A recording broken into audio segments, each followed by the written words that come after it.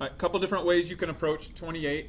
If you recognize that this is the form a squared minus b squared, where a is a value of 5 and b is a binomial x plus 2, it, you recognize that that factors into the sum and difference of those bases.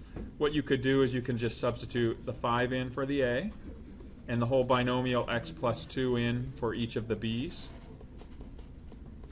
And if you do that, you can simplify what you have. You get x plus 5 and, and 2 equals 7.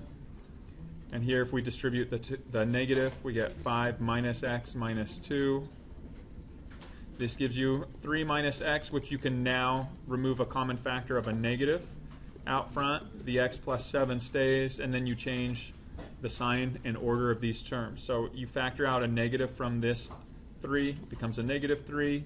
Factor out a negative from the negative x, becomes a positive x. And so you wind up with this form. Now, if you chose not to use that form, what you would need to do is you would need to expand this out. So you'd square the binomial, x squared plus 4x plus 4, distribute your negative.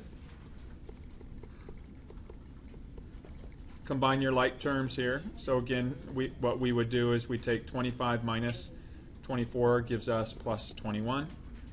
You would then, at that point, remove a, a factor of, of a negative 1. And then you'd factor the remaining, the resulting expression. What two factors of negative 21 have a sum of plus 4, a plus 7, and a minus 3? So that would be kind of the two different ways. Now, let me also show you on your calculator that you can factor as well. Uh, if you go back to your calculator and you look under this same F2 algebra tab, notice the second choice is factor.